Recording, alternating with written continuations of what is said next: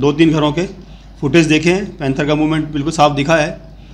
और अब स्टाफ को वहाँ पर गश्त के लिए लगा दिया पाबंद कर दिया है। और बस्ती वालों से भी इस दिवाली नवरानी का करे स्वागत। तनिष्क लेकर आया है आपके लिए न्यू नवरानी कलेक्शन जुड़िए तनिष्क के साथ और ऐतिहासिक रानियों से प्रेरित कलेक्शन से संवारे अपने आप को। खूबसूरत गहने शानदार ऑफर्स के साथ सिर्फ़ Tanishq showroom Vaishali Nagar main road Ajmer. आज जो है सुबह सूचना मिली थी, कोटड़ा के पास में बैरवा बस्ती के अंदर पैंथर का मूवमेंट है। तो उसका फुटेज भी आई थी, वहाँ से मकानों के जो सीसीटीवी होते हैं।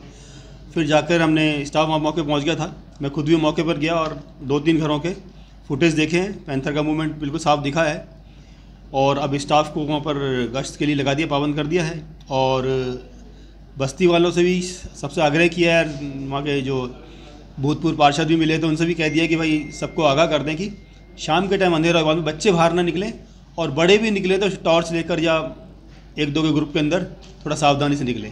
बाकी हमारा स्टाफ वहाँ लगातार गश्त के लिए पाबंद कर दिया है और पूरी गश्त करके हम निगरानी रखेंगे इस चीज़ की छुपा होने की बस्ती काफ़ी घनी है तो छुपा होने के चांस थोड़ा कम है, लेकिन झाड़ियाँ हैं, काफ़ी आसपास जंगल सा है, काफ़ी बारीक झाड़ियाँ हैं तो हो सकता है उसके अंदर कोई छुपा हो, पूरा हमारा स्टाफ गश्त कर रहा है।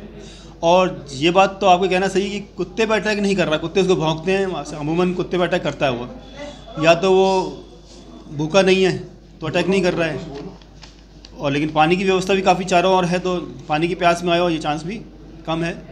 अब इस बारे में निगरानी कर रहे हैं और हम अधिकारियों से बात करके और विशेषज्ञों से इससे चर्चा भी कर रहे हैं कि क्या कारण हो सकता है। बाकी हमने स्टाफ लगा दिया है और पूरी मुस्तैदी से काम कर रहे हैं।